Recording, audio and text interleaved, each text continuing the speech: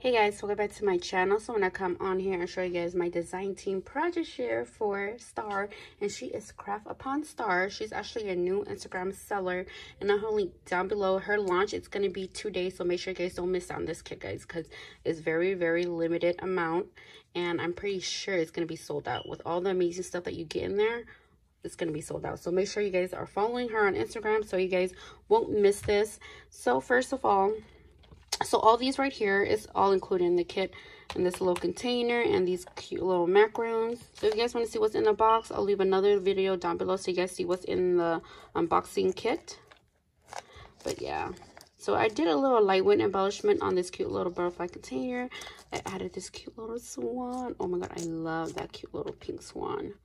And it started turned out super cute.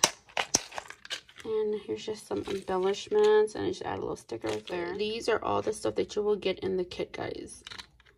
But I thought these were so cute. So, there's that one. So I thought it would be cute to package it up. And I just tied it with this beautiful tulle. Obsessed with it. It's so pretty, guys.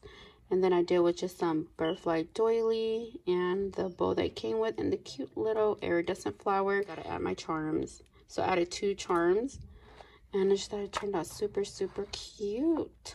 Love that. All the stuff came packaged beautifully in these cute little bags. to embellish it, and I thought it turned out super cute. I just added some stickers.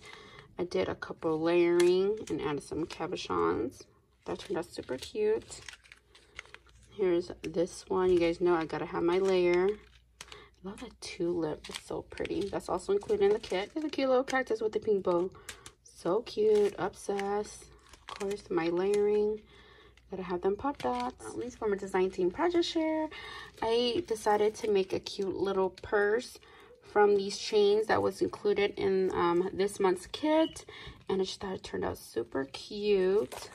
And I did use a garden party and I did a bunch of layering because you guys know I love to layer and add my pop dots. And it just turned out super, super pretty. So here's the front.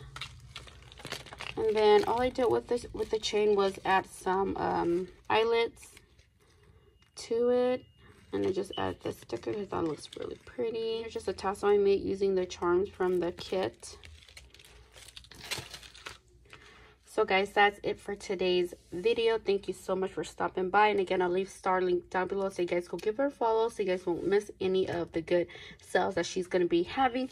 So guys, that's it for today's video. Thank you so much for stopping by and catch you guys on the next one.